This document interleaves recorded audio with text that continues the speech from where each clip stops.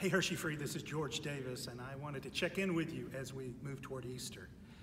You know, in preparing for Easter this week, my mind actually went back to last Easter, and I, I thought about the really the awkward, surreal experience of filming our Easter service in an empty sanctuary.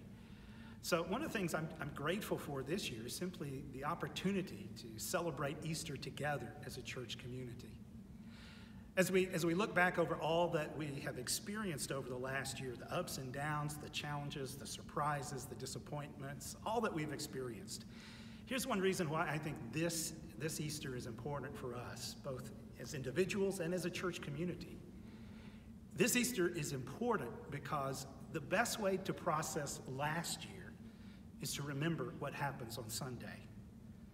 The best way to process all that we've gone through is to be grounded in the message of Easter. Because central to that message is the invitation to a life that's renewed. And I think that's, that's something that we need to hear right now. So I hope you'll join us this weekend as we go through our Easter services.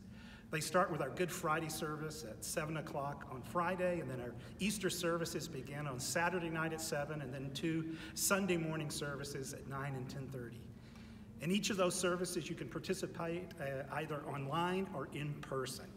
And by the way, when it comes to those Easter services, if, if you're coming, if you can at all come on Saturday night, that really would be helpful for us. So if you can do that, I would really appreciate it. That just gives us uh, more room to have on Sunday morning for the new people that will be coming. So again, I look forward to seeing you this weekend as we worship together and celebrate the resurrection of Jesus Christ.